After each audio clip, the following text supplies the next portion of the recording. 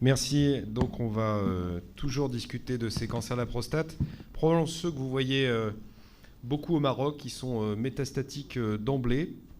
C'est vrai que ça représente 5 à 10 de, de, nos consultations en France. J'ai l'impression, après les discussions que j'ai eues hier soir, qu'un certain nombre de, de, patients se présentent métastatiques d'emblée à vos consultations. On sait la singularité de cette maladie qui est hormonosensible. Et donc le dogme de l'hormonothérapie ou de l'androgénosuppression, on va un petit peu le revisiter à la lumière des dernières données dont on dispose, à travers deux histoires. La première, celle de ce monsieur de 56 ans, qui s'est présenté avec un PSA dont la valeur a été dosée à 440 nanogrammes par millilitre et qui était euh, donc ISUP 4. Euh, il a eu un bilan standard, scintigraphie osseuse, avec des foyers euh, multiples sur le rachis, sur le fémur, euh, en iliaque, sur le gris costal, et puis sur le scanner des adénomégalies euh, sans lésion viscérale. Alors on va rentrer dans la stratification. On le fait beaucoup euh, dans d'autres maladies. On le fait dans le cancer localisé. On a parlé du Damico tout à l'heure. Aujourd'hui, il y a plusieurs entités nosologiques qui se distinguent les unes des autres. Et ce qui est intéressant, c'est de savoir si oui ou non le patient appartient plutôt à la catégorie des patients faible volume, et évidemment, si les métastases sont synchrones ou métachrones, vous l'aurez compris dans cette histoire, le patient est métastatique d'emblée, donc ce sont des métastases synchrones. Il y a des histoires comme celle qu'on vous a véhiculée tout à l'heure, où les patients vont avoir eu des traitements de première ligne et vont exprimer des métastases dans un second temps, sans avoir eu d'androgénosuppression, et donc ils sont dans une euh, configuration métachrone. Donc dans le bilan conventionnel, il y a des définitions finalement indexées à la littérature. Vous voyez qu'elle n'est pas tout à fait récente, 2015 et que le haut volume, c'est euh, plus euh, ou supérieur ou 4, euh, égal à 4 métastases osseuses, et une en dehors de l'axe de l'axe rachidien, ou bien et ou l'existence de métastases viscérales. Pour le faible volume, on est sur une définition, vous voyez, avec ce cutoff qui est préservé à 4 sur le bilan conventionnel, sans réentrer à nouveau dans la conversation qu'on vient d'avoir sur le bilan d'imagerie moléculaire qui peut changer un petit peu la donne et ses définitions qui risquent de bouger. Alors on a deux études qui ont marqué euh, finalement la littérature et qui étaient des game changers en termes de définition. Vous voyez qu'en termes de volume, euh, c'était plutôt chartide et en termes de haut risque, donc il faut savoir lire entre les lignes au risque de progression, risque d'évolutivité, au volume, la localisation euh, tout à fait péjorative, c'est l'existence de métastases viscérales. Et finalement, euh, vous voyez qu'il y a une définition des hauts volumes et des hauts risques entre chartitude et latitude qui est à peu près concordante. Et donc on, met ici des définitions sur des choses qu'on connaissait subjectivement, mais qui ont été bien étayées par la littérature. François, comment est-ce qu'on va traiter ce patient? Alors chez ce patient, euh, ce patient qu'est-ce qu'il faut faire? C'est un patient métastatique, synchrone, au volume. Euh, Morgane nous l'a montré. Est-ce qu'il faut faire un agoniste et un anti-androgène, l'hormonothérapie classique? Est-ce qu'il faut faire un antagoniste? Est-ce qu'il faut faire euh, une suppression androgénique et du docétaxel? Est-ce qu'il faut faire une suppression androgénique et une hormonothérapie nouvelle génération? Ou est-ce qu'il faut tout faire à la fois? Est-ce qu'il faut faire une suppression androgénique plus une hormonothérapie de nouvelle génération plus du docétaxel? Euh, On peut faire euh, à main levée. Qui ferait la 1 Personne. Qui ferait la 2 Personne? Qui ferait une suppression androgénique avec du docétaxel Qui ferait une suppression androgénique avec une hormonothérapie de nouvelle génération ah, La main commence à se lever. Et qui ferait les trois? Le triplet ah, Je sens que le triplet a un petit peu le vent en poupe. Alors, évidemment, le traitement systémique, c'est formidable parce que c'est euh, quand on regarde sur les dix dernières années, c'est probablement ce qui a le plus changé. Et quand on regarde l'histoire du cancer de la prostate, depuis la fin de la Deuxième Guerre mondiale, il n'y avait finalement pas eu d'événements euh, majeurs, sauf un prix Nobel dans les années 60, mais globalement, on était sur de la suppression androgénique et on discutait la castration chirurgicale, l'hormonothérapie, euh, comme ci, comme ça. Et en fait, la grosse révolution, ça a été l'apparition du dossier qui a été un premier changement euh, important puisqu'on avait quand même l'idée que le cancer de la prostate était euh, chimio-résistant. Et puis l'émergence des hormonothérapies de nouvelle génération avec une hormonothérapie beaucoup plus intensifiée avec la biratérone, puis l'enzalutamide, la palutamide, et puis dernièrement les triplets avec euh, le docétaxel et la biratérone et le docétaxel plus le darolutamide. Donc voilà le champ global des choses. Et pour revenir très rapidement sur le niveau de preuve de ces traitements, euh, pour la hum, chimiothérapie avec le docetaxel, c'est les discussions qu'il y avait eu autour des essais de Chartige, GETU15, Sampide, avec des discussions euh, animées, puisque finalement des résultats qui n'étaient pas les mêmes, et, au final, une étude euh, qui montre qu'on a un intérêt à utiliser le docetaxel chez les patients qui sont synchrones de haut volume. Donc typiquement le cas de ce patient. Pour l'acétate d'abiraterone, ça a été un, vrai changement et Morgan a, parlé des études Stampede et des études Latitude. En 2017, euh, il y a eu un vrai changement des pratiques après les présentations à, l'ASCO euh, de Stampede et de Latitude et on a complètement changé la façon de traiter les patients. Et là encore, on avait, en associant une hormonothérapie nouvelle génération à la suppression androgénique, une amélioration de la survie chez des patients dont le pronostic était sombre. Donc très clairement, ça c'est un standard euh, important. Et puis, autre point avec l'acétate d'abiraterone, c'est que les résultats sont stables dans le temps. Vous voyez que le hasard ratio ne bouge pas, en fait, entre le début, entre 2017 et entre la republication l'année dernière des résultats de Stampede, donc une efficacité qui est stable dans le temps, ce qui est important à garder en tête pour nos patients. Donc l'acétate d'abiraterone, finalement, c'est la première hormonothérapie de nouvelle génération qui a montré son efficacité, mais on a aussi d'autres molécules euh, qui ont montré la place de leur efficacité.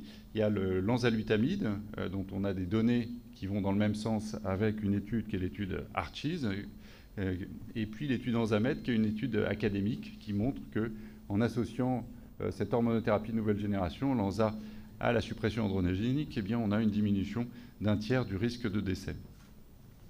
Dans Titan, qui est l'apalutamide, on a des résultats qui sont similaires, et quand vous regardez l'analyse finale de Titan avec euh, un suivi médian de 44 mois, eh bien, vous voyez qu'en termes de, diminution du risque de décès, on a 33% de diminution du risque de décès, euh, ce qui est considérable, encore une fois, chez ces patients qui sont euh, avec un pronostic qui est très sombre.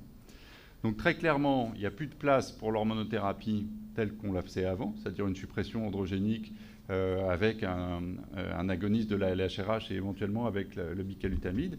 Actuellement, le standard d'hormonothérapie, la suppression androgénique, c'est euh, un agoniste de la LHRH et une hormonothérapie nouvelle génération. C'est ça votre nouveau standard et c'est ça qu'il faut avoir en tête. Et après, la question, c'est la question de la chimiothérapie. Est-ce qu'il faut faire du dossier Taxel Quid du triplet Alors, il y a deux essais qu'il faut connaître. L'essai PIS-1, qui est un essai du GETUG, euh, qui est un groupe français qui, euh, qui promeut la recherche clinique euh, pour, les, pour les cancers urogénitaux, avec euh, un essai PIS-1 qui est intéressant, euh, dans lequel on voit que chez des patients qui ont eu un traitement qui est une suppression androgénique plus du docétaxel, avec de l'acétate d'abiraterone, on voit quand on fait les trois, finalement, on améliore la survie sans progression radiologique, on améliore la survie globale de la population totale et notamment, notamment chez les patients qui sont avec des hauts volumes. Donc très clairement, l'indication finalement de ce triplet, quand on regarde les données de, de PIS-1, c'est les patients qui sont un peu comme le patient qu'on a présenté, des patients qui sont métastatiques, synchrones, au volume. Dès que vous avez des métastases viscérales, il faut y aller. Dès que vous avez des hauts volumes, il faut y aller. Chez des patients qui sont fit pour le docétaxel. Et c'est là que la discussion se fait en réunion de concertation pluridisciplinaire. Chez les faibles volumes, très clairement, quand on regarde le groupe, le sous-groupe des patients de faible volume de PIS-1, il n'y a pas d'efficacité du dossier Taxel. Quand on regarde l'essai Aracins, qui est le deuxième essai, euh, qui euh, donne des éléments qui donnent à voir euh, des possibilités de combinaison avec trois éléments, donc une suppression androgénique, le docétaxel et le darolutamide, eh bien, on a des choses qui sont similaires. Je passe assez vite sur les, sur les, caractéristiques initiales des patients à l'inclusion, puisqu'il y avait des, classifications qui étaient un peu différentes de haut volume et, faible volume, et ça a été représenté cette année, c'est la diapo que je vous montrerai après. Mais globalement, ce qu'il faut retenir, c'est que chez ces patients, le fait d'avoir un triplet, le fait d'avoir une suppression androgénique, d'avoir du docétaxel et d'avoir du darolutamide, eh bien, on avait des données en survie globale qui vont dans le sens du triplet, exactement comme dans PIS-1. Et finalement, quand on regarde les patients qui sont de nouveau, on voit que chez les patients qui sont métastatiques d'emblée, métastatiques synchrones, c'est chez ces patients-là qu'on aura une efficacité maximale. Pour les patients qui sont métachrones, c'est-à-dire des patients qui ont été traités et qui vont évoluer sur le plan métastatique, on a un niveau euh, de preuve qui est beaucoup plus faible. Donc il faut garder en tête pour nous que le triplet sont les patients qui sont au volume synchrone. C'est chez ces patients-là, quand ils sont fit pour le docétaxel, c'est chez ces patients-là probablement qu'il y a la meilleure indication du triplet. Et c'est ce qu'on retrouve euh, dans cette euh, republication d'Aracins qui a été montrée à la SCOGEU cette année, où on a recaractérisé les patients en fonction de la définition de Chartit, c'est-à-dire au volume et faible volume. Quand on regarde les données, très clairement, pour les patients qui sont à haut volume, il y a euh, une efficacité de ce triplet. Donc pour avoir les idées très claires, euh, il faut euh, garder ce, concept en tête. Donc on sait finalement que chez des patients qui sont synchrones au volume, il faut faire du docétaxel quand ils sont fixes, quand ils sont fit pour le docétaxel. Mais dans ce cas-là, le docétaxel seul ne suffit pas. Il faut une hormonothérapie de nouvelle génération. Par contre, on ne sait pas si chez un patient qui a une nouvelle hormonothérapie, c'est-à-dire une suppression androgénique plus une hormonothérapie de nouvelle génération, on n'a pas la question, euh, on n'a pas d'études sur avec ou sans docétaxel. On ne sait pas. Finalement, les seuls euh, critères qu'on ait actuellement, c'est euh, ces critères-là. Donc voilà, ça c'était, on, a vraiment avec Morgane essayé de, différencier les deux situations métastatiques. C'est-à-dire qu'à la fois une situation un peu caricaturale, mais qui est un patient que j'avais vu en consultation, hein, typiquement au volume, synchrone, etc. Et puis ce deuxième cas, qui est un patient euh, afro-caribéen que j'avais vu en consultation, qui est un type en plein état, en, parfait état général, avec un PSA à 9, une petite tumeur palpable, quatre biopsies positives, c'était un ISUP, euh, un ISUP 3 et euh, pour lequel j'avais un discours qui était assez rassurant en fait, en disant on fera plutôt de la chirurgie, plutôt de la radiothérapie, mais quand même, on va faire un bilan d'extension. Et sur ce bilan d'extension, qui a une scintigraphie couplée au scanner, donc le, le bilan d'extension classique, une métastase. Donc c'est un patient qui est oligométastatique. Pour vous raconter l'histoire, on a fait aussi un bilan d'imagerie métabolique derrière, parce qu'on était un peu surpris, ça a montré exactement la même chose. Donc c'est un patient qui est oligométastatique. Vous avez vu la définition d'oligométastatique. C'est moins de métastases que de doigts sur une main. 1, 2, 3, 4, 5. On ne sait pas la vraie définition, mais en tout cas c'est moins de 5, ça c'est sûr. Et dans cette situation, il faut réfléchir. Donc on est chez un patient métastatique comme l'autre, mais on réfléchit différemment. Il y a la question du traitement systémique, est-ce qu'il faut intensifier? Il y a la question du traitement local. Et euh, peut-être que Morgane, tu vas pouvoir nous aider à y voir plus clair. Merci euh, François. pendant que je t'observais de dos, je te voyais à l'écran et je me suis rendu compte que le staff technique avait mis la photo de toi et moi devant et c'était assez troublant de te voir en triple euh, au moment où tu parlais de la triplette. Alors, euh, quoi qu'il en soit, effectivement, on est avec ce patient confronté à des situations qu'on voit davantage dans notre écosystème, j'allais dire en consultation à Paris, avec des malades qui ont une maladie finalement assez peu disséminés ou euh, sur, euh, sur une seule localisation. Et là, on se pose d'autres questions plutôt que d'intensifier euh, l'hormonothérapie comme on l'a fait tout à l'heure et on va continuer à le faire, mais on se pose plus la question, beaucoup moins la question de la chimiothérapie. On va se poser la question du traitement finalement du primitif qui peut changer la donne. Et donc d'intensifier sur le primitif, ce qui est une question tout à fait intéressante. Alors, euh, quand on voit que euh, sur Archis, quand on reprend les études qui ont été évoquées par François tout à l'heure, il y a dans ces études des forest plots qui nous permettent de étudier et de catégoriser en sous-groupes. Et on voit finalement que euh, les malades de faible volume, comparés aux malades de volume élevé, vont bénéficier presque davantage de cette intensification euh, de suppression androgénique. Donc la suppression androgénique plus la NHT, qui a été soulignée tout à l'heure, elle reste le nouveau fondamental et le nouveau pilier de traitement de tous les malades métastatiques.